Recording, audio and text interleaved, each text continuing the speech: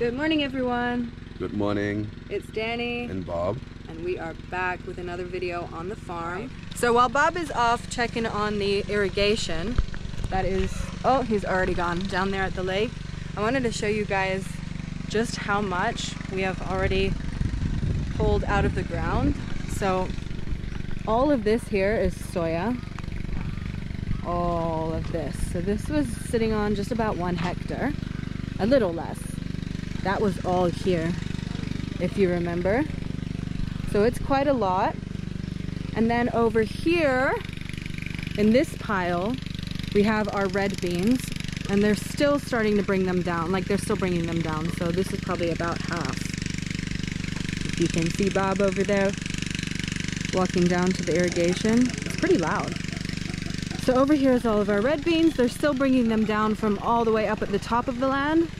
And then here we have all of our yellow beans. I know there's probably like more actual names for these beans, but I can't really pronounce them. So I'm gonna keep red and yellow beans. So over here is all of our yellow beans. It's quite a lot. And as you can see, they are super dry. Of course, the one I pick up is not super dry. Oh yes, it is. They're super dry. So all we're gonna have to do really today is we're gonna bring three people, three big strong people, and they're gonna be just like whacking these beans until all of the beans come out to the ground. And then we collect them, we sort through them to make sure all of the like random bits and bobs come out until we're left with just beans. We're gonna buy some sacks and fill them up. And then I'm so excited to see just how many kilos of beans and soya we get. This is our first time, and like I've said a few times, we did plant late, like a month late, so that is gonna affect our harvest. Nonetheless, I'm very happy with what we have harvested so far. It is much more than what I thought and what most people thought. So stay tuned. Now it's about eight o'clock and they have to wait until it's pretty hot outside to start whacking on the beans. They want it to be hot to get it, you know, as dry as possible. So we're probably gonna do it around 12 or 1 in the afternoon.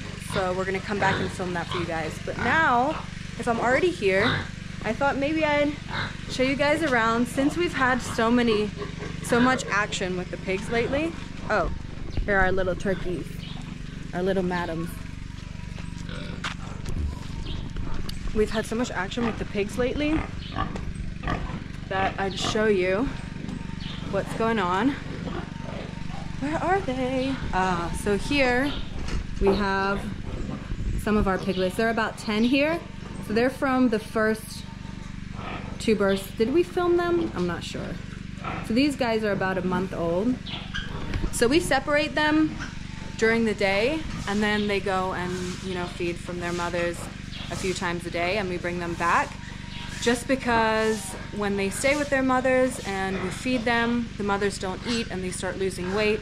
So we separate them. Also this way they learn to feed on their own. And then I'm gonna take you guys over here. They still haven't cleaned the pens yet because two of our farmers had to take our children to school today. Um, so they're still not here. So don't mind the mess, but I'm gonna show you guys anyway.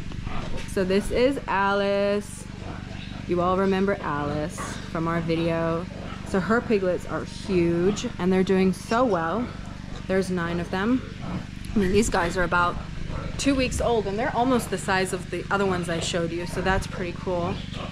And this mama pig here, she has, oh, she has three, but one of these guys belongs to Alice. I think they've made their way over. Oh, or over there. We have to close up this wood. So that's another project we need to do. So when we were constructing this pig house, we didn't really take into consideration how small these piglets are.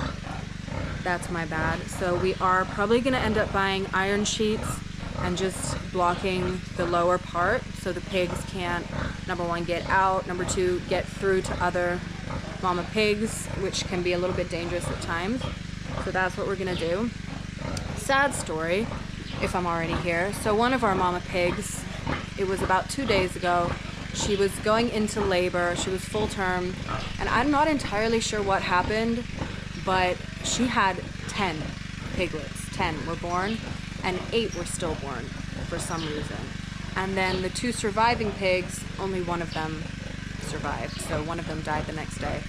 So the vet is still trying to figure out what went wrong. We think that it has something to do with the male pig that she was mated with that we had here at the farm and we bought it locally and we also bought this pig locally.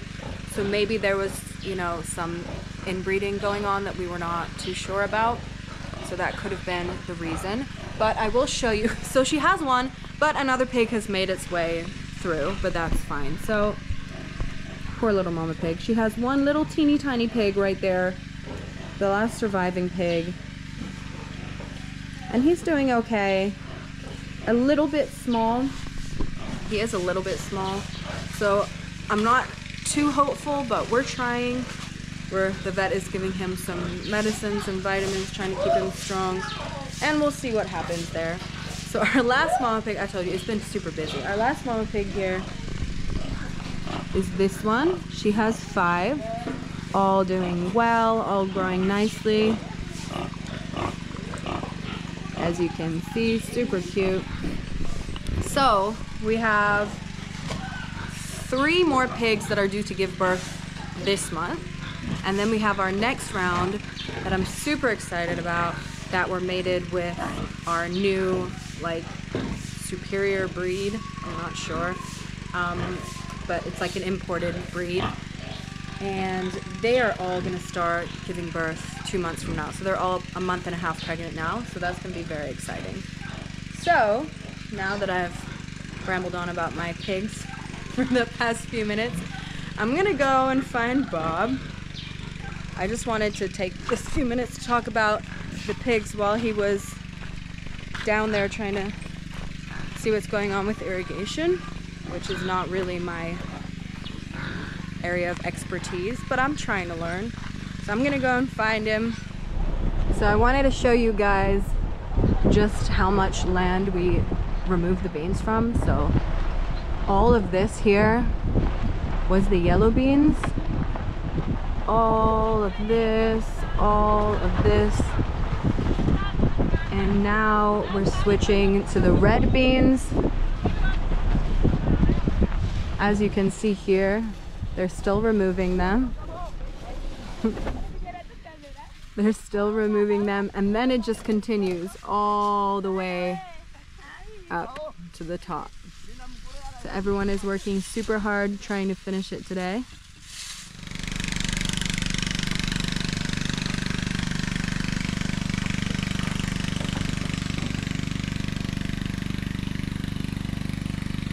Everyone, we've made a quick pit stop at the nursery. Bob is super shy today. I'm not sure why. I'm not super shy. I'm just super shy. Come on. No, I'm joking. So Bob's super busy today, that's why. Some days he's a little more shy than others. Anyway, right now we're at the nursery and today is, oh my gosh, I'm so excited. So today is not technically the first day of school, tomorrow is, but today we're doing an orientation for all of the parents. So they're gonna come with all of their kids me and Bob and our like head mistress, if you want to call it, and our school nurse from my dad's school, and a few other people are all to come, and we're to do like a talk, talk a little bit with them about this nursery, our project, about hygiene, positive parenting, stuff like that. And then we're to hand out all of their little uniforms and shoes and stuff like that, and just, you know, tell them about the nursery, prepare them for tomorrow for the first day. So now we're setting up all the chairs. It's so adorable. So the parents are gonna sit on the chairs and then we also have these mats for the little kids. And I'm just so happy. I can't wait to see all the little kids in their uniform. That's really what I'm waiting for. So I'm gonna go and help them set this up. I just wanted to show you guys and give you guys just a little taste of what's to come. We are gonna post this nursery in a part one and part two of like how the whole thing started and just the story behind it. So if you guys are interested in that, stay tuned. Anyway, enough talking. I'm super excited today, guys. So I'm sorry if I'm talking too much. That's just what I do when I get excited and happy. I've been waiting for this for so long. Bob, Yeah, you want to say something? super excited. I'm super excited. That's what I can say. All right, guys. We'll see you in the afternoon when we come back for the bean harvesting. Yeah, as you see, we here just hitting the beans with the workers, which is we call in Rwanda guhuri bishimbo. And um, after this hitting of the beans, we're gonna sort of like separate it with the Yeah, from all like the dirt and the sticks and Yeah. the leaves and stuff. and uh, and then we put it in the same sack, so which is the when we figure out the like The weight. the weight and also the the the, the produce not pro- uh, what produ- produced. Our, pro- our produce, yeah. What, Yeah, we, yeah, we're- what we've produced. Yeah. So Danni and I are gonna be also be participating in these bins as we going to help It's these really, really people are around. Just the stick itself weighs like 20 kilos. It's yeah, it's really difficult, but it needs also more energy. Like, Fine, but then it's gonna try. I will do it. You wanna say something about it? I know everyone's something. gonna be laughing at me. They're gonna be laughing, but say something for that. Because I built it up for too long. I should have just come with the stick and started. How do you feel Whack. about it? Hitting the bins? I'm nervous because, you know, I know at like once or twice it's easy, but then it starts getting difficult. Yeah. I'm gonna do it though. Okay, Le- guys, let's wait. See Danni hitting the bins. okay, wait. You wanna start? Which stick should I use? You can use whatever decide whatever stick you want to use. That one is super heavy. okay. You can hear, That's what I'm on the other side. This stick is small. Okay. Here, get a big one. Get a big one. Get a big one.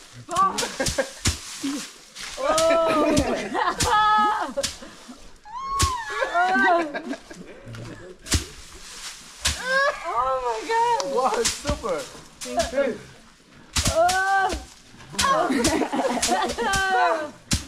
Hey, Para no, vamos a hacer que debe cultivar. I'll use this. Yeah. You do this one. Just bend and do like this.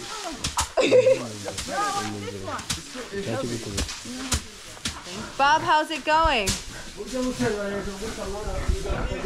I've run away.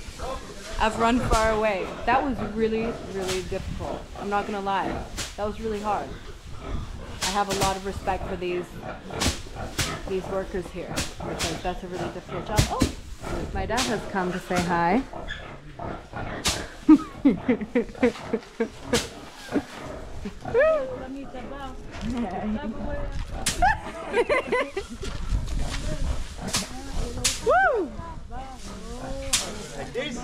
Yeah, just like that. You see how difficult it is?